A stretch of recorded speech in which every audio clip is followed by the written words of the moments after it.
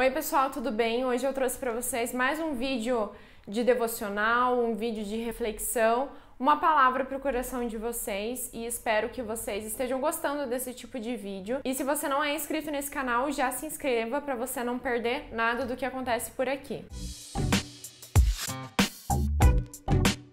Eu vou começar lendo um versículo para vocês que fica lá em Mateus, capítulo 5, versículo 14 e 15, que diz assim: vocês são a luz do mundo. Não se pode esconder uma cidade construída sobre um monte, e também ninguém acende uma candeia e a coloca debaixo de uma vasilha ao contrário, coloca no lugar apropriado e assim ilumina todos os que estão na casa. Esse é um versículo bem conhecido que diz que nós somos a luz do mundo. Ouvindo é algo muito bonito, algo que você deseja. Eu quero ser a luz do mundo. Mas o que, a luz faz? A luz ela ilumina nas trevas.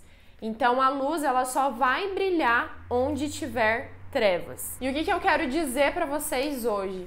Que muitas vezes a gente quer ser luz onde não precisa de luz. E muitas vezes a gente tá em um lugar de trevas, mas nós não estamos deixando a nossa luz brilhar, porque a gente acha que aquele lugar não é o lugar da gente. As trevas são lugares incômodos, não é um lugar legal, um lugar que você se sinta bem. Às vezes você tá reclamando do seu trabalho, mas Deus está te chamando para você ser luz onde você tá.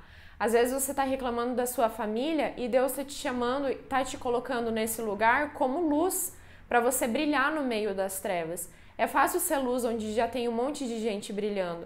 É fácil ser luz dentro da igreja, onde já tem várias lamparinas, onde já tem várias lâmpadas acesas. Mas o nosso desafio é ser luz, é deixar a nossa luz brilhar lá naquele lugar de trevas, lá onde está difícil, lá naquele lugar que você não vê mais perspectiva, que você acha que não é o teu lugar porque é um ambiente muito pesado. É lá que Deus te chamou para você ser luz. E é lá que você tem que deixar a sua luz brilhar. E onde Deus te colocou, onde você está hoje, se Ele te colocou nesse lugar, é por um propósito. É para você brilhar a sua luz. Independente se é um ambiente pesado, se é um ambiente que você se sinta confortável ou não. E esse é o nosso desafio. O nosso desafio é ser luz onde não tem ninguém brilhando.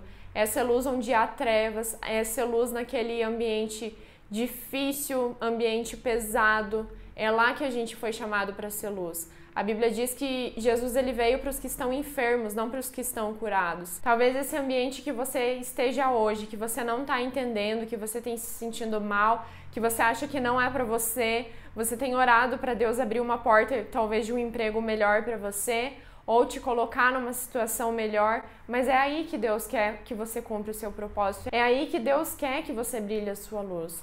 Se você está no lugar que você acha que é ou não, onde você está hoje é o lugar que você tem que brilhar a luz de Jesus. É aonde você está hoje que Jesus tem que ser reconhecido na sua vida. Independente se você se sinta confortável ou não. Jesus ele pregava para os fariseus, para os religiosos, ele sofria perseguição aonde ele estava. Não tinha um lugar favorável para ele pregar. Não tinha um lugar favorável para que ele falasse do amor de Deus mas aonde ele estava, onde Deus tinha colocado ele, ele falava do amor do Pai. Se você está num ambiente de trevas, sinta-se feliz, porque Deus te colocou aí para que você brilhe a luz dele. É uma responsabilidade que ele está colocando na sua mão. Não existe um lugar desfavorável para falar do amor de Jesus e a gente não pode ficar esperando um lugar propício, um ambiente bom. Pregar Jesus dentro da igreja é muito fácil porque as pessoas estão ali esperando por isso mas pregar Jesus onde as pessoas não querem saber dele, onde as pessoas estão com barreiras, não querem nem ouvir falar de Jesus. É ali que a gente foi chamado para falar dele, para que Jesus alcance esse coração através das nossas vidas. Muitas vezes a gente acha que a gente vai ganhar uma pessoa para Jesus convidando ela para a igreja, mas às vezes essa pessoa não vai aceitar seu convite. Você tem que levar essa luz até ela e não levar a pessoa até a luz. Entende o que eu tô falando? Nós somos essa luz e nós temos que ir alcançar essas pessoas. Jesus nos chama de luz do mundo. Nós temos brilhado essa luz em meio às trevas ou a gente está esperando um lugar que já está todo iluminado para que a gente acenda a nossa lâmpada? Fale de Jesus onde você está e aproveite todas as oportunidades que a luz de Jesus possa brilhar através da sua vida, possa brilhar através das nossas vidas, para que nós possamos levar luz em meio às trevas, em meio àquele lugar que ninguém quer brilhar. Ninguém quer chegar lá naquele lugar para brilhar, mas Jesus te chamou para isso. Se Deus te coloca num ambiente de trevas, num ambiente difícil, talvez seja a única oportunidade que essas pessoas vão ter de serem alcançadas pela luz de Jesus. Talvez vai ser a única oportunidade que elas vão ter de ouvir falar do amor de Jesus. E a gente não pode deixar essa oportunidade passar. Nós temos essa responsabilidade de brilhar nos lugares difíceis também. Jesus nunca disse que seria fácil.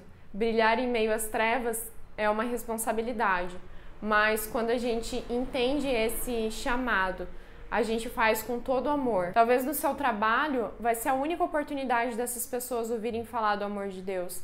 E se Deus te colocou ali, é para você brilhar essa luz. Então não espere um ambiente favorável, um ambiente talvez que você acha que é adequado.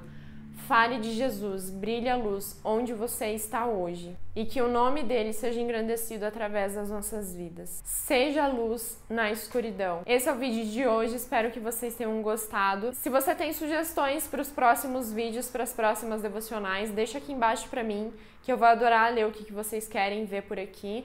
Espero que vocês tenham gostado. Um beijo e até o próximo vídeo. Tchau!